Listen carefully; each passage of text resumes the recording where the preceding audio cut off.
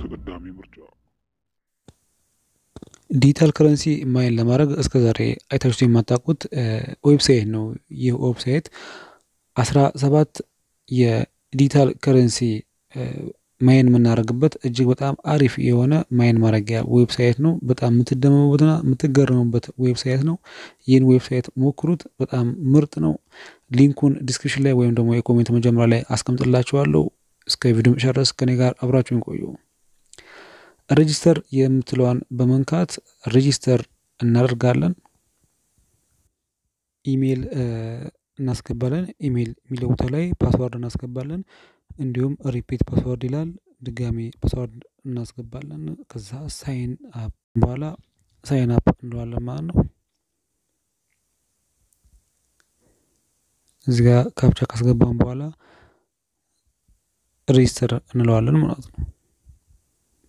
ከዛን login ብለን መግባት እንችላለን። እኔ login ብዬ እገባለሁ። እናንተ sign up አድርጉ። link ኡን description ላይ ወይም ደግሞ የ comment መጀመሪያ ላይ አስቀምጥላችኋለሁ። እኔ login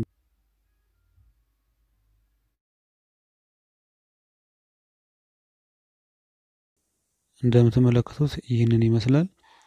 ብዙ አይነት Litecoin፣ Bitcoin፣ Ethereum፣ Dogecoin የተለያዩ የተለያዩ አይነት digital currency ዎችን mine የሚያደርግልን መቶ percent ሰጥቶናል። ለእያንዳንዱ ከፋፍለን mine ማድረግ እንችላለን። ቢትኮይን ትንሽ ትንሽ አድርገን ሁሉም mine እንዲያደርጉ አንድ ላይ mine እንዲያደርጉ ማድረግ እንችላለን። ከፈለግን ደግሞ አንዱ ብቻ mine እንዲያደርግ ማድረግም እንችላለን። እጅግ በጣም የሚለይ ለየት ያለ website ነው።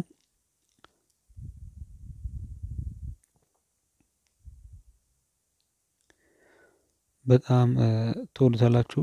ወደ አስራ ሰባት አይነት digital currency ዎችን አንድ ላይ mine ያደርግልናል። Litecoin አለ፣ Ethereum አለ፣ ቢትኮይን አለ፣ TRX አለ።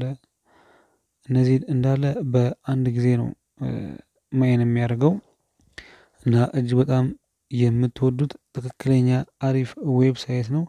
እንግዲህ እንዴት ነው ይህንን mine ያደረግነውን ወደ wallet ኣችን የምንከተው የሚለውን አሳያችኋለሁ። እዚህ ጋር ወደ ላይ እንሂድና withdraw withdraw የሚለውን ስትነካው ምን ያህል እንዴት ምን ያህል ስንደርስ withdraw ማድረግ እንደምንችል እናያለን።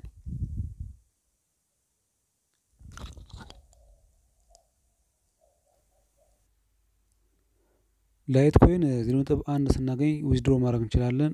XLM አርባ ስናገኝ እንዲሁም Dogecoin መቶ ሀምሳ ዚንግ ዜሮ ነጥብ አንድ ስናገኝ እንትን ማለት እንችላለን። ወደ withdraw ማድረግ እንችላለን። TRX መቶ ሀምሳ ስናገኝ withdraw ማድረግ እንችላለን ማለት ነው። እንደዚህ mine አድርገን የምናገኝ ከሆነ በጣም በቀላሉ mine ማድረግ እንችላለን ማለት ነው። ስለዚህ ሁላችሁም ሞክሩት። mine ለማድረግ እጅግ በጣም አሪፍ application ነው። ቤታችሁ ላይ ኮምፒውተር ካለ ኮምፒውተራችሁ ላይ ከፍታችሁ ወደ ፈለጋችሁ ስራ የሚቻችሁ በተለይ ዋይፋይ እና ኮምፒውተር ቤታችሁ ካለ ስለዚህ mine አድርጎ ይጠብቃችኋል ማለት ነው። mine ለማድረግ ምንም አይነት ማሽን መጠቀም አያስፈልግም ማለት ነው። ቪዲዮ ለማድረግ ለምሳሌ ቢትኮይን ዜሮ ነጥብ ዜሮ ዜሮ ዜሮ ሰላሳ ስምንት ካረግን በኋላ withdraw ማድረግ እንችላለን። የሚጠት ቪዲዮ ይህን ይመስል ነበር። በሌላ ጊዜ በሌላ ቪዲዮ እንገናኛለን። እስክንገናኝ ቸር ያገናኘን።